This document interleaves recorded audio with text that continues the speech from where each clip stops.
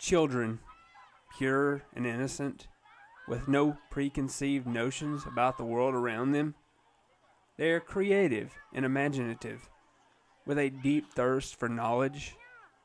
They love and trust unconditionally. They play and don't worry about tomorrow. Let's rediscover what we've lost. Let's begin again.